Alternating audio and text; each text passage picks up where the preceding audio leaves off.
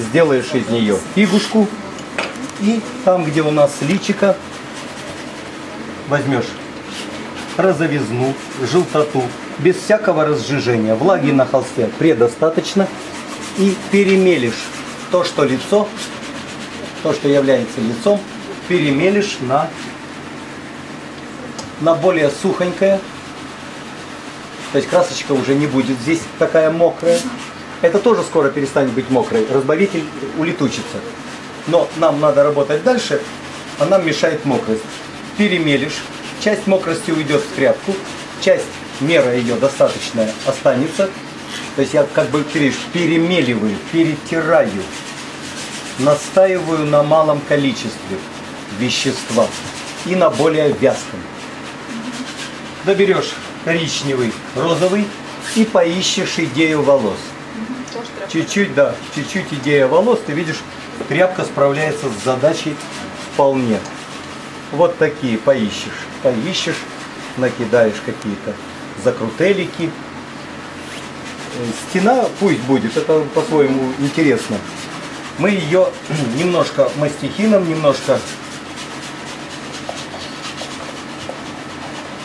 может быть, пальцами сделаем такой э, более решительной, более ну, пожестикулируем здесь. Наоборот, э, глухое темное пространство сделаем глухим и темным. Особенно возле личика, особенно возле волос. А здесь может быть немножко, то есть глухота нам нужна вот в этом пространстве. Наштрихуем, плашмя мастихином наштрихуем, наштрихуем вот эту мутоту, глухоту тональную и цветовую. Не какость такую создадим. Здесь наоборот какость создадим, а здесь не какость. Вот. И потом в это пространство коричневый, розовый. Начнем поиск рисунка. Начнем поиск. Можно и желтенький чуть-чуть добавить. Губочки, кончичек носика. Сначала смайлик лица. Глазные впадинки. Глазные впадинки. Амбразурки глаз. Сначала как амбразурки. Ты видишь ракурс как бы вид сверху. Вот этот ракурс будем стараться учитывать. То есть все хочет по вот этой траектории быть. Ты видишь и глаза, и брови захотят по этой траектории. И по чуть-чуть начнем уточнять, уточнять. Хорошо? Давай. Увеличить, может быть, подбородочек. И чуть удлинить. Удлинить. Лобик поднять. Сморщенное стало. Чуть-чуть его. Там есть э, легкий намек на сморщенность, но ты его преувеличила. Хорошо? Как все нормальные детки, поворачиваешь лицо. Э, вот деткам, если этого еще в малую степень, другие еще больше разворачивают. Ты его устремляешь в фас, а оно устремлено в три четверти. Все детки так делают. Мало того, когда они видят профиль, они говорят, а где второй глазик? Вот. Ну вот эта идея, она здесь э, происходит. Поэтому чуть-чуть ну, у тебя это не, не в сильную меру, но тоже произошло. Чуть-чуть все-таки отгоним носик вот сюда. Угу. Вот Все, сюда. Зажимаем. Три четверти. Очень хорошие меры вещества, очень. Видно, что что-то уже умеешь. Ничего не умею еще. Берем теперь более светлый и немножко с желтинкой. Свет желтит, собственный цвет тела розовит. Зная эту технологию, мы на фотографии, что бы мы ни видели, мы знаем, что класть. Итак, тень э, розовит, оранжевит, свет желтит. Знание этого дает правильное решение свету и тени. Вот такое дымчатое, малая мера вещества. То есть достаточно вязко, как тональные кремы на лице. хорошо укладывают красочку. Если меры вещества не соблюсти, то моделирование будет трудным. Если мера вещества соблюдена, то очень даже удобным. Плюс идея штриха по цилиндру. Все время чуть-чуть толкаем краску в этом направлении, создавая идею закругленности.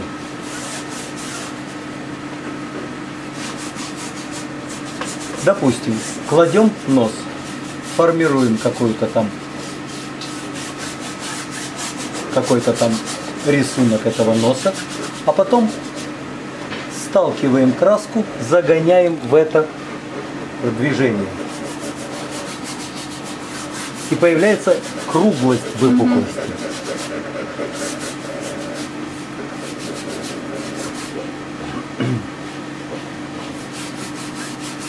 Красный, коричневый, плюс желтота будет усложнение цвета, такое некоторая янтарность цвета.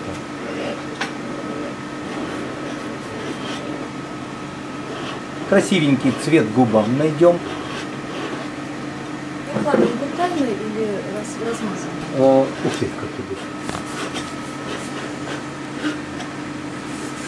Сначала работаем очень приблизительными звучаниями. Не торопимся браться за кисть и делать жесткий рисунок. Жесткий рисунок мы тут сразу имеем провал.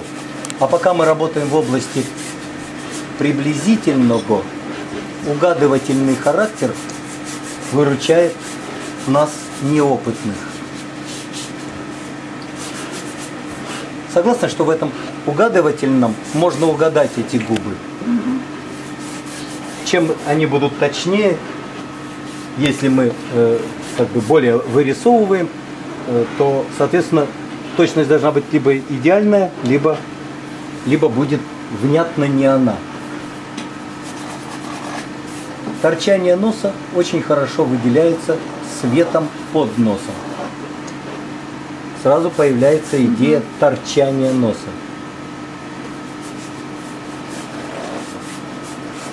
Он такой потолще. Ну, соб- соберешь. Амбразурки глаз. Сначала амбразурки. Просто вот амбразурка одна смотрит по этой траектории, другая смотрит по этой траектории. Потом внутрь амбразурки еще более темные зрачочечки. И уже потом, сначала мастихином, а потом кистью, появятся светлости. Но светлости в области темного пятна всей э, глазной впадины. Пятно впадины темнее, чем все остальное. Намек на бровочки,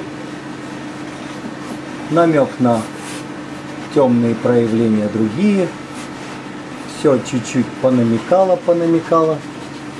И потом уже с кистью начнем уточнять. Нет, он как вниз уполз. Пок- поправишь его, чтобы он был. Смотри, как красочка легко подвигается, да?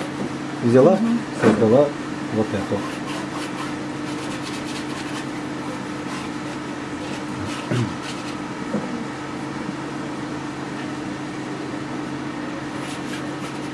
То есть сначала в области мутного действуешь, хорошо?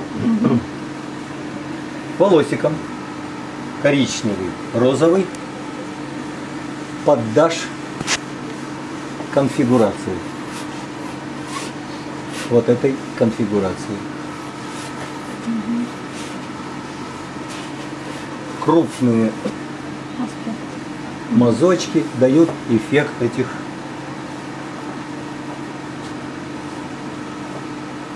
локонов. Правда? Смотри. Причем кисть не всегда легко справляется с этим.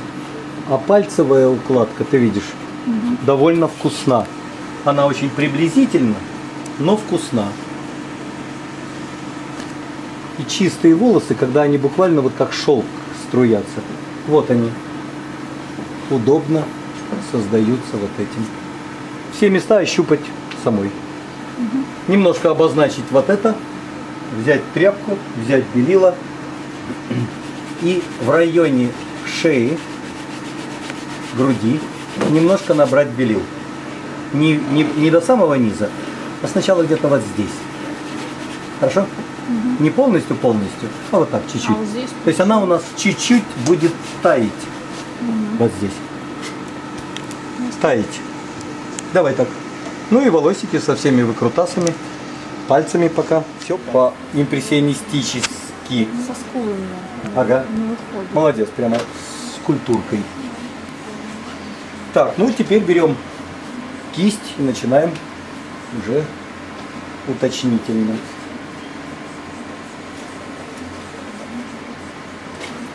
Мощная теневая здесь, навязать ее.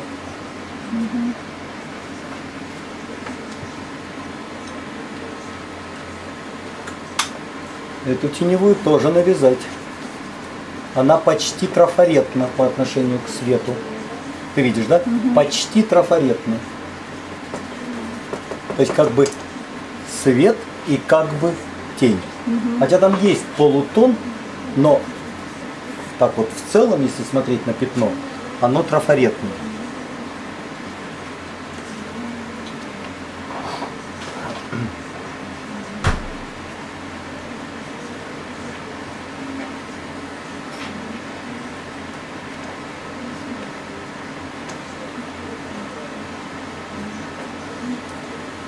Губочки – это червячки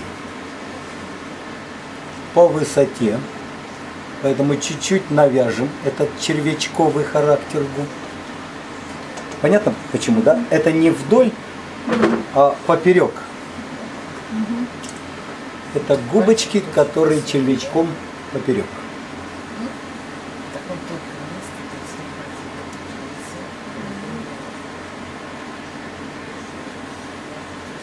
Таких вещей не боимся.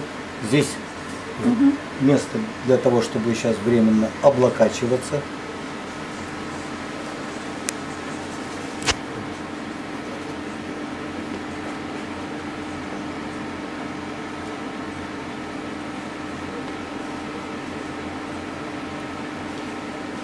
Смотри, я начал вырисовку губ не снаружи губ, а как бы изнутри.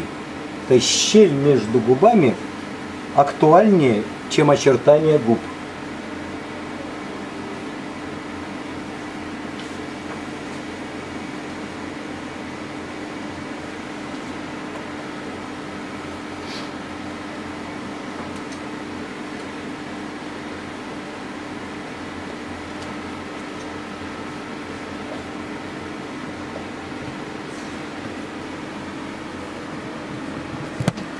Мало того, ты видишь, я сейчас губам сделал приятный цвет. Он был никакой, да?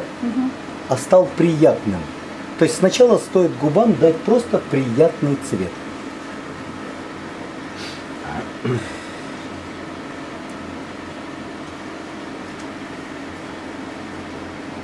Тоже по такой траектории, которую потом можно пустой кистью чуть-чуть адаптировать. Вкусненькие стали. Даже сладкие, да, как клубничка немножко. Очень любит подрезку уточняющую вот это место губ. Поскольку оно сильно торчит, чтобы оно выразилось, это торчание, делаем эту подрезочку. Еще торчащий нос любит подрезку снизу носа. И это сразу дает ему идею торчащего. Нос стал торчать.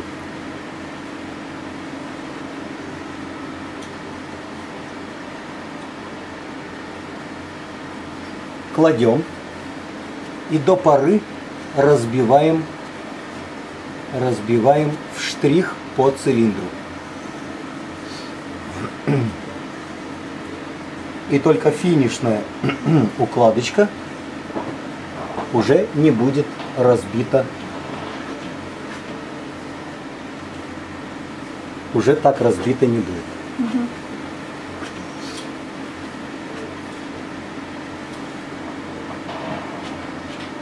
Свет не упирается в самую теневую, потому что нос поворачивается постепенно, не э, обрезанно, не остроугольно, а постепенно. Очень любит свет вот эта верхняя площадка подбородка. Сразу зазвучало, правда?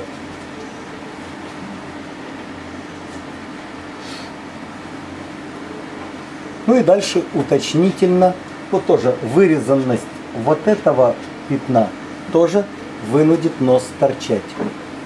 Вынуждает?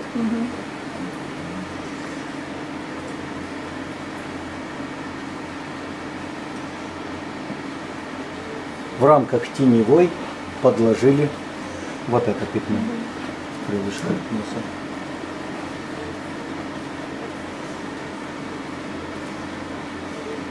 намек на ноздричку. Намек. Обрати внимание, нос я делаю как бы галочкой, да? Галочкой. Не ровной площадкой, хотя есть намек на ровную площадку, но я усиливаю идею галочки.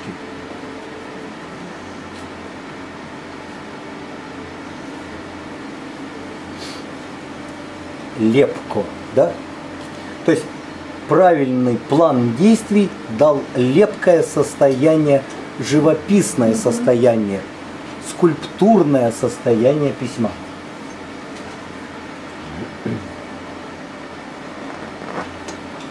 Еще прежде чем уложить, можно себе было создать идею конструкции –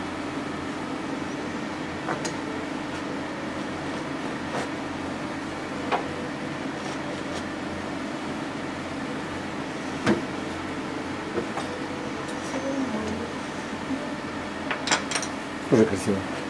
Нет?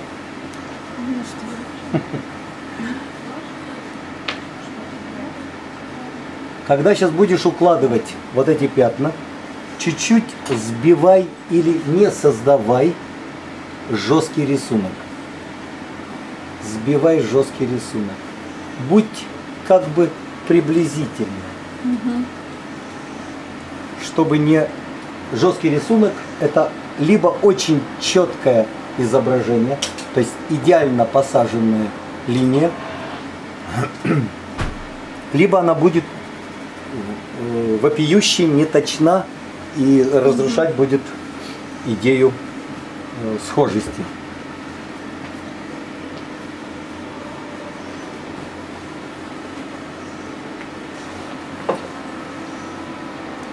Брови, прежде чем появиться чернявыми должны сначала появиться краснявыми. По логике такой, что теневая тело краснит, а световая желтит. Теневая краснит, бровь отбросила тень на тело. И оно в этом месте краснит. Только после этого сюда приходит чернота и создает уже идею черных э, волосинок.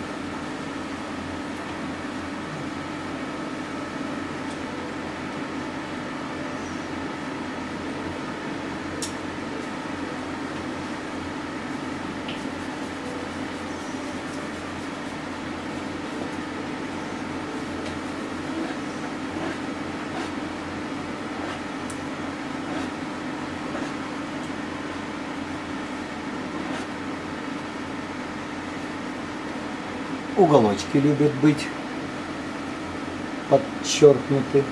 И еще любит э, светик вот это место. Ты видишь, что я губы не очерчивал сознательно, да? То есть, что происходило? После того, как они были мутными, появилось вот это пятно, которое выявило вперед. Появилась щель, которая выявила, выявила края. Появился свет здесь, который выявил подбородок, но все вместе выявили губы. Вот эта размытость в очертании в краях, угу. она уместна и даже желательна. Когда ты придешь в музей, ты увидишь, что классики губочки размывают, как после поцелуя. То есть, когда губы не кричат своей очерченностью. То есть после поцелуя губочки мало равны своим пределам. Они как бы э, размазываются в силу кровеносных сосудов. Большой кистью оранжево принесешь чиркательно, чиркательно, вязкой краской, без малейшего разжижения, в эту среду чиркательно, непонятно, где зашла кисть, непонятно, где вышла, да? Чиркательно идею множества волос. Идея множества произойдет от полосатости кисти. Крупной кисти, а не мелкой. Обычно берут мелкую кисть и пытаются сделать вот такую толщину. Это невозможно. Наоборот, широкой кистью возможно.